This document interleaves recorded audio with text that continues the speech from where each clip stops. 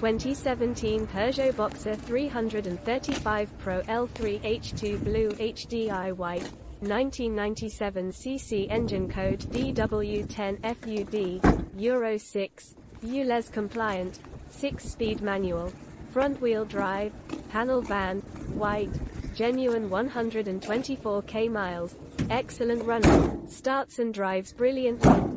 Suspect water pump has failed coolant does not pressurize but the heaters blow cold when driving, not when stationary. We've repaired these before but don't have the time. Electric windows, 2 keys, MOT until 2nd August 2023. Click the link in the description for pictures and more info. Alternatively, call or WhatsApp us on 07401